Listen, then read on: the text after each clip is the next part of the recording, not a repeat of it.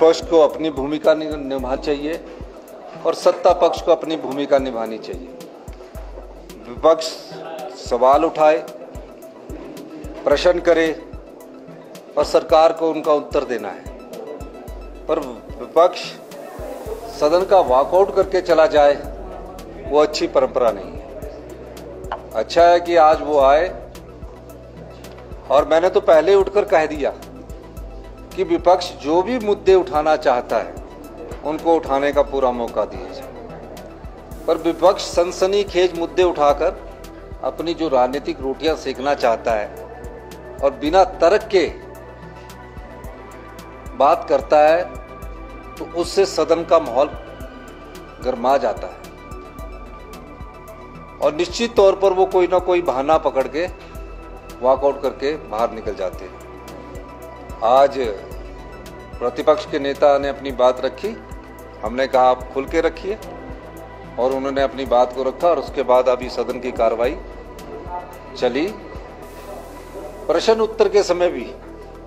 ऐसा पहले कभी नहीं होता था कि क्वेश्चन आवर के समय पॉइंट ऑफ़ ऑर्डर दिया जाए।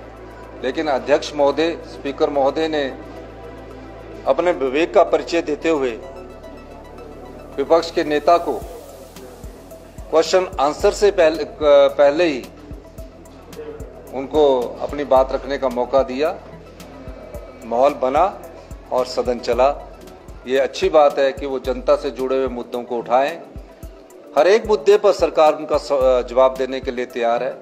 मैं दावे के साथ कह सकता हूँ कि विपक्ष को चर्चा से भागना नहीं चाहिए अपने मुद्दे उठाने चाहिए। मैं मैं विधानसभा में अंदर सभा पटल पर एक स्टेटमेंट दूँगा और ऐसा नहीं है कि किसी की सैलरी को रोका जा रहा है। सरकारी कर्मचारी और अधिकारी हमारे भाई है। जब फाइनेंशियल डिसिप्लिन लाना होता है तो इस प्रकार की थोड़ी सी समस्या रहती है और उसको ठीक ढंग से हमने प्रदेश को आगे बढ़ाना है। बोर्ड निगमों की और इनकी सैलरी तो निकल रही है। जो सरकारी विभाग है, उसमें थोड़ा सा सिस्टम को ठीक कर रहे हैं।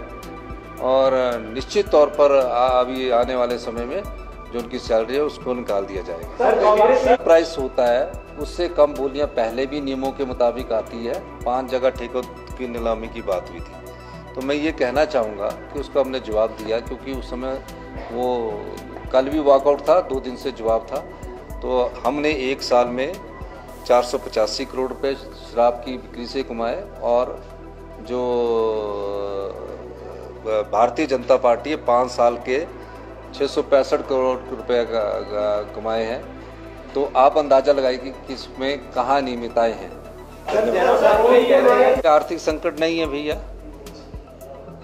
अगर किसी फ़िज़िकल डिसिप्लिन करना आर्थिक संकट से हम उभर रहे हैं, आर्थिक संकट को हम पार कर चुके हैं अब डिसिप्लिन लाकर हिमाचल प्रदेश को सेल्फ रिलायंट बनाने की तरफ़, आत्मनिर्भर हिमाचल बनाने की तरफ़ ये चेंजिंग ज़रूरी है। और इसमें फैसले किए जाएँगे। आर्थिक संकट कब होता है?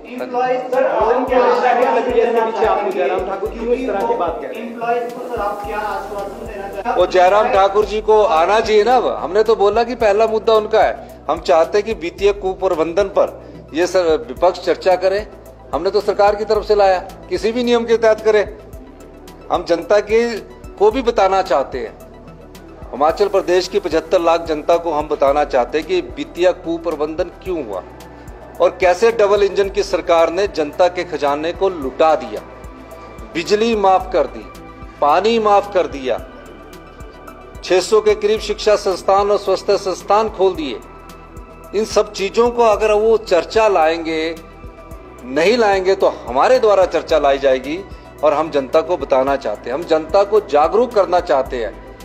कि जब कोई नीतिगत फैसले नहीं होते तो प्रदेश की अर्थव्यवस्था का उसका और क्या प्रभाव पड़ता है? जो इनकम टैक्स देता हो, जो एक करोड़ रुपया इनकम टैक्स देता हो, उसको मुफ़्त की बिजली नहीं चाहिए, मुफ़्त का पानी नहीं चाहिए। इन्होंने बिना सोचे समझे बिजली, पानी, मुफ़्त का उन लोगों को दे दिया जो लोग देने अपने पैसे से पानी भी खरीदना चाहते थे, बिजली भी खरीदना चाहते थे, किसको मुफ़्त में मिलनी चाहिए? जो गरीब है, उसको मुफ़्त में मिले, कोई दुख नहीं है, चाहे पानी है, चाहे बिजली है। तो इन सब चीज़ों के मद्देनजर जयराम जी ने जो पाँच साल इस प्रदेश के खजाने को लुटाया है, उस दृष्टिकोण से उन्हें चर्चा लानी चाहिए। हमारी सरकार किसी भी नियम के तहत उन चर्चा को तैयार करने के लिए तैयार रिसोर्स मोबिलाइजेशन को उठाने मज़बूत करने के लिए और उठाने के लिए राजस्व में वृद्धि करने के लिए हमने प्रमुख कदम उठाए हैं। उसमें सबसे बड़ा कदम जो है वो जो बिजली है जो लोग बिजली का बिल देना चाहते हैं कई लोग मुझसे संपर्क कर रहे हैं। तकरीबन काफ़ी लोगों ने मुझसे संपर्क किया कि हम बिजली का बिल देना चाहते हैं और हमारे से बिजली का बिल लिया जाए, उनको हम अपने दृष्टिकोण से स्टेज चरणबद्ध तरीके से बिजली के बिल में एक रुपता लाकर उसको कम करेंगे। पानी में मिनिमम हमने सौ रुपया पानी के बिल का कर दिया, लेकिन उन परिवारों के लिए नहीं, जिनकी परिवारों की पचास हज़ार रुपये से इनकम कम है, उनसे सौ रुपया भी नहीं लिया जाएगा।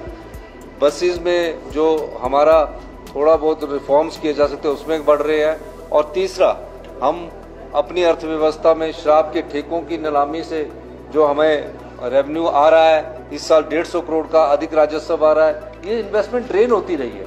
तो और भी कई जैसे डीजल के में हम और बढ़ा रहे हैं तो इन सब चीज़ों को बढ़ाकर हम आगे बढ़ रहे हैं। मेरा ये मानना है कि सरकारी कर्मचारी अधिकारियों के सहयोग से हम प्रदेश की अर्थव्यवस्था को आगे बढ़ा रहे हैं। बहुत बहुत धन्यवाद।